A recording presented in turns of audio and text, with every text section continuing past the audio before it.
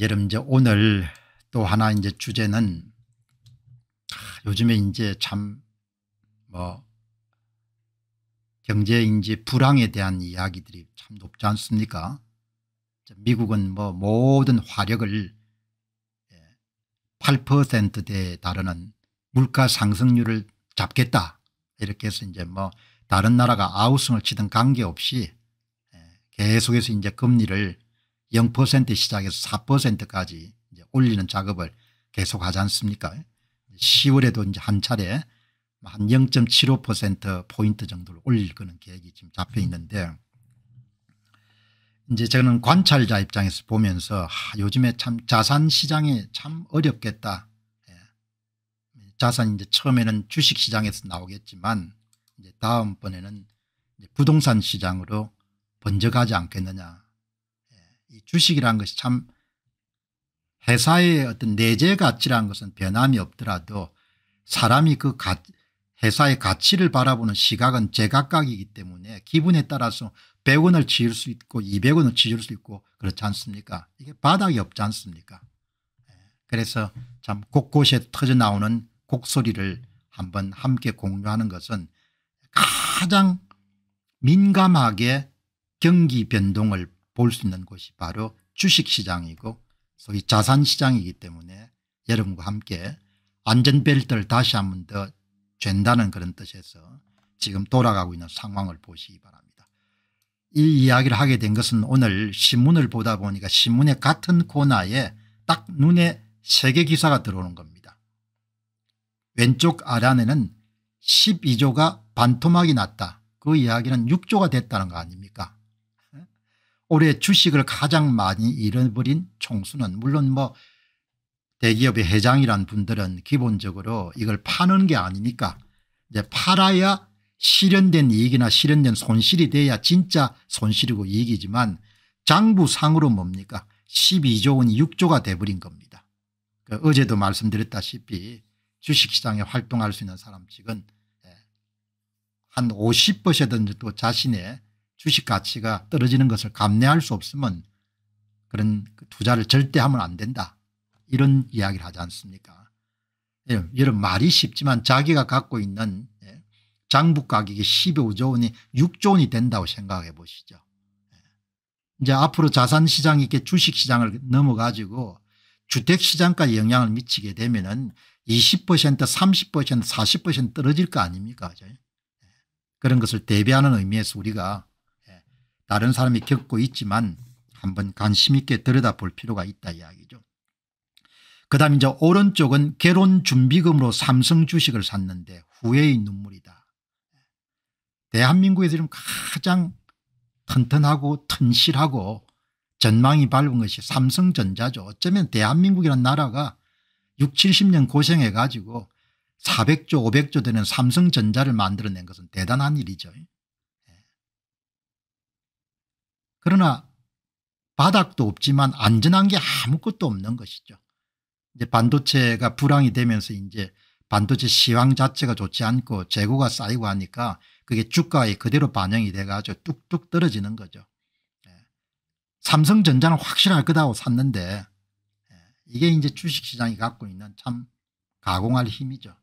그 다음 밑에 보니까 저가 매수할 때는 아니다. 다시 이야기하면 지금도 더, 예, 더 떨어질 거다 이렇게 보는 고수 이야기입니다. 내년쯤 주식 담을 타이밍이 온다. 이것도 뭐 의견이니까 그냥 참조하시기 바랍니다. 이 세 개, 예? 이세 가지 이런 기사가 있기 때문에 오늘 한번 이걸 다뤄보겠다는 겁니다. 12조가 1년 사이에 반토막 올해 주식 재산을 가장 많이 잃어본 총수는 누구인가 그 가운데서 특히 여기 보면 카카오 창업자 김범수 씨는 9월 말 기준으로 주식 재산이 6조 933억 가운데서 이것이 12조 2269억 대비 50.2% 감소했다. 다르게 이야기하면 카카오에 투자하신 분들이 예, 자기의 자산이 그냥 절반이 돼버렸다는 거 아닙니까 끔찍한 이야기죠. 예. 이런 일들이 뭐 예사롭게 일어날 수 있는 것이 주식시장인데 특히 근래 몇 년 사이에 가장 제가 볼 때는 지금이 격동의 시기를 한국 주식시장이든 미국 주식시장이든 뭐 다른 나라는 모르지만 또 다른 나라도 마찬가지겠죠. 이런 것을 이제 경험하고 있는 겁니다. 음. 그 다음 여러분 한번 보시기 바랍니다. 바닥이 어딘지를 알면 누가 돈을 못 벌겠습니까 저가 매수 기회인 줄 알고 주식을 샀는데 예, 계속 주식 가격이 빠지는 겁니다. 곡소리 커지는 개미들. 예. 국내 증시가 크게 하락하자 추가 매수로 대응해 나섰지만 주가 하락이 연일 계속되면서 탈출구가 보이지 않는다. 올해 9월 한 달 동안 수익률이 예, 유가증권시장 개인 순매수 톱 22, 예, 마이너스 18.89% 코스피 지수 마이너스 10.76% 여기 톱22 정도가 되면 굉장히 유망 종목이기 때문에 샀을 거 아닙니까 예. 워낙 이런 주가가 많이 빠져가지고 이 정도면 저가다 예. 바닥인 같다 이렇게 샀던 개인 투자자들이 엄청난 손실을 예. 기관 투자자들은 많이 팔한 모양입니다.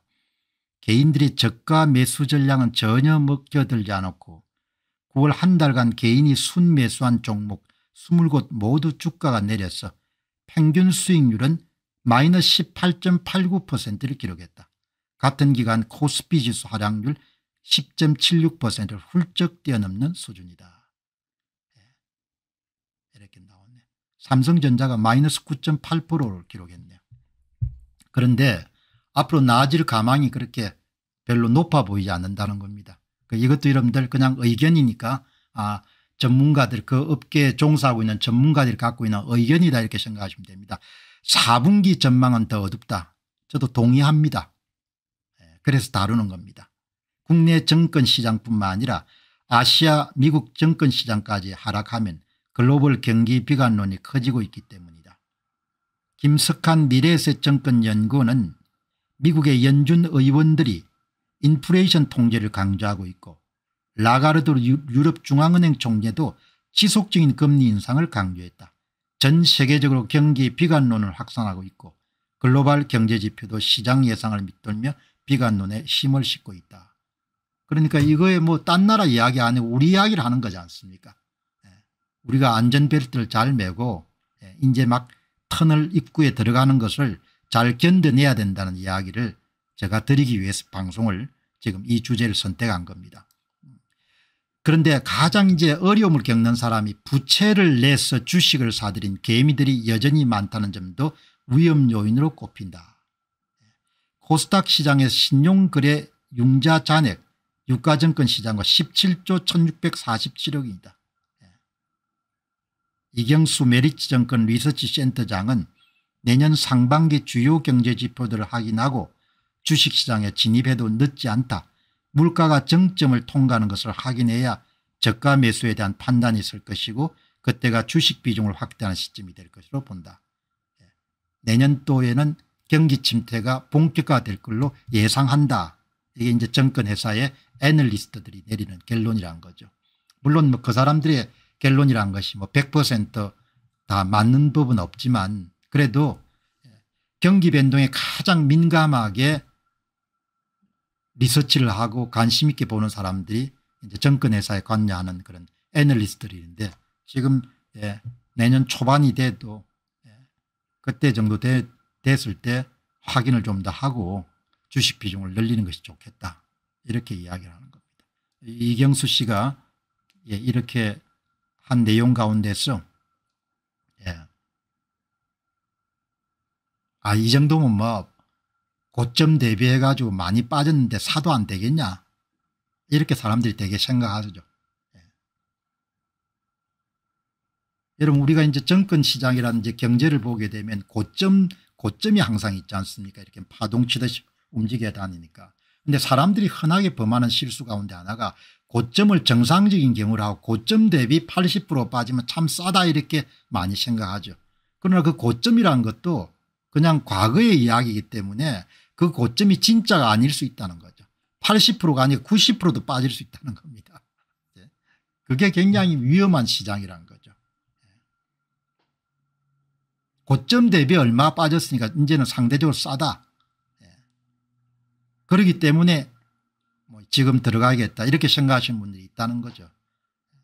이경수 씨는 좀 장기화될 걸로 보고 인플레이션이 진정이 되면 그다음에 경기 침체가 올 수밖에 없기 때문에 지금 주식 비중을 늘리는 것은 옳은 선택이 아닌 것 같다 이렇게 이제 단호하게 이야기하는 겁니다. 예. 경기가 이제 경기 침체가 상당히 장기화될 거라고 보죠. 긴 인터뷰 가운데 제가 여러분들한테 관심을 예, 끌만한 부분만 한번 보시죠. 한국 주식을 저가 매수해도 될 시기는 언제입니까 이거는 미국 주식도 마찬가지 같습니다. 지금 당장은 아닙니다. 내년 상반기쯤 경제 지표들을 확인한 이후에 진입해도 됩니다. 물가가 정점을 통과하는 것을 확인해야만 저가 매수에 대한 판단이 있을 것 같습니다. 물가가 정점을 통과한다는 이야기는 고금리 정책이 어느 정도 진정되는 것을 보고 그 다음에 주식시장에 뛰어드는 게 좋겠다. 그때가 주식 비중을 확대할 만한 시점입니다. 제가 전문가는 아니지만 이 주식시장을 보게 되면 은 역사적으로 어떤 시점에 뛰어드는가라는 부분이 굉장히 중요하지 않습니까 예. 코로나를 통해 가지고 엄청나게 많은 돈이 풀어졌고 그 돈들이 자산시장 특히 주식시장에 많이 유입되면 은 자동적으로 수요가 생기기 때문에 고평가돼 예. 가격이 과대평가되어 있을 가능성이 높은 거죠. 그게 지금 조정돼 가는 아주 고통스러운 과정을 겪는 것이고 이 시장이 꼭 그대로 뭡니까 부동산 시장에서도 그대로 적용이 될 거다 이야기죠. 예, 그러니까 빚을 내 가지고 무리하게 집을 산 사람들은 이자 부담 때문에 굉장히 어려울 거라는 이야기입니다. 예. 그래서 이런 내용을 예, 함께 공유하는 것도 우리가 도움이 되겠다 이렇게 생각합니다. 이 보시죠. 반드시 이제 여기 보시면은 자신의 투자 능력을 맹신하는 것은 위험할 수 있습니다. 시장이 내려가게 되면 투자 능력이 뭐 아무것도 필요가 없는 거죠. 예. 하락 장세에서 뭡니까 능력을 어떻게 발휘합니까 대세에 다 휩쓸려 가는 거죠. 그 어떤 투자자도 압도적인 insight를 갖기는 어렵습니다. 그 이야기를 하는 겁니다. 똑똑한 채 하지 말라는 겁니다. 대세가 이렇게 하방, 하방으로 내려가면 은 본인이 아무리 뭐 걸출한 능력을 가지더라도 뭐죠 10% 20% 정도 마이너스 기록할 수밖에 없다는 겁니다. 역발상 투자나 다수를 이기는 투자를 하겠다는 그런 생각을 버려야 됩니다. 그런 오만감을 오만 오만함을 버려야 됩니다. 저는 그렇게 해석했거든요. 예. 이제 빚을 내 가지고 투자하는 것에 대한 위험이죠. 반드시 여유자금으로 투자를 해야 됩니다. 기다릴 수가 있으니까 시간을 이겨낼 수 있는 돈을 넣어두는 것이 현명합니다. 쫓기는 돈은 시간을 이겨낼 수가 없습니다. 시향이 좋을 때는 레버리지 부채를 동원해 가지고 투자 수익을 극대화할 수 있는 지금은 그런 시기가 아닙니다. 예. 굉장히 우울한 전망을 여기에 이경수라는 분이 하네요. 예. 이런 뭐 고수들이 이런 이야기하지만 그 밑에 댓글들 보게 되면 진짜 예. 현장에서 터득한 또 고수들이 있죠. 예. 여기에 송경용님이란 것이 주식 투자의 적기는 공포가 절정에 달할 때입니다. 모든 것이 암울하고 전망이 없어 보여 많은 투자자들이 백기 통할 때입니다. 경제 지표를 확인하고 투자에 나선다는 생각은 그럴듯하지만 실제 있어서는 경제 지표가 돌았었다고 확인될 때 주가는 이미 바닥에서 적게는 20에 30% 많게는 50% 이상 오른 경우가 대부분입니다. 그럼 대부분 투자자들은 억울해서 주식을 못 삽니다. 예. 주가는 경제 선행합니다. 예. 이경수 씨 말에 약간의 이견을 다른 의견 다른 의견을 또 한 고수가 이야기를 했네. 예. 어쨌든 간에 예.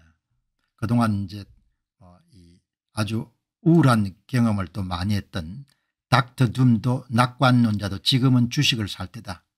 내용은 그게 아닌데 예. 제목을 이렇게 뽑아가지고 또 이런 부분에 헷가닥 하시는 분이 계실 것 같아가지고 전문가들이 좋은 이야기를 많이 했네요. 예. 그런데 의견은 이경수 씨하고 크게 다를 바가 없습니다. 앞으로 6개월 동안 지루한 조정이고 그 다음엔 박스권일 텐데 이때 우리가 적극적으로 주식을 사야 된다는 겁니다. 예, 지금이 아니란 거죠. 제목을 그렇게 뽑아놨으니까 예. 이게 지금은 과소평가 영역에 들었습니다. 이것도 뭐 사람마다 다를 수 있겠죠. 더 빠질 거로 보는 사람도 있는 겁니다. 예. 김영익 교수는 지금이 아주 저평가 상태다 이렇게 하지만 그건 이제 보는 시각에 따라서 저평가 상태로 보는 사람은 지금 사는 거고 아이 멀었다 더 빠질 거다. 예.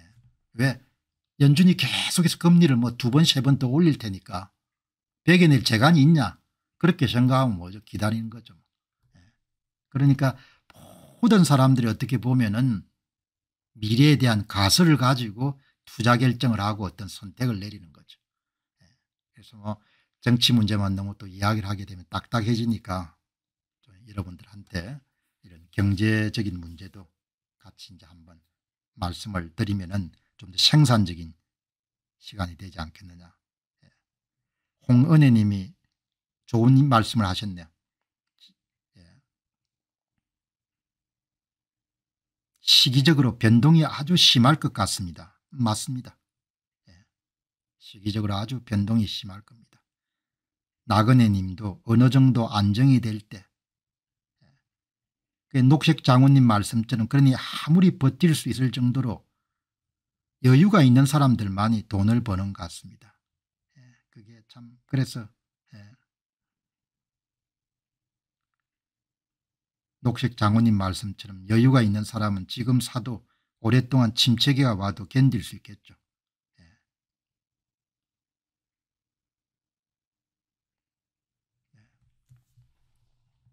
서가연님처럼 돈을 벌려면 위험을 감수 있어야 됩니다.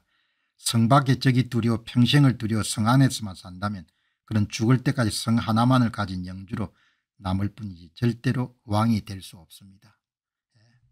돈이란 것은 자기가 갖고 있을 때는 자기가 통제할 수 있지만 일단 집을 사거나 주식을 사게 되면 자기 통제권을 벗어나지 않습니까 그래서 아무리 신중하게 이름 생각하더라도 지나친 법이 없는.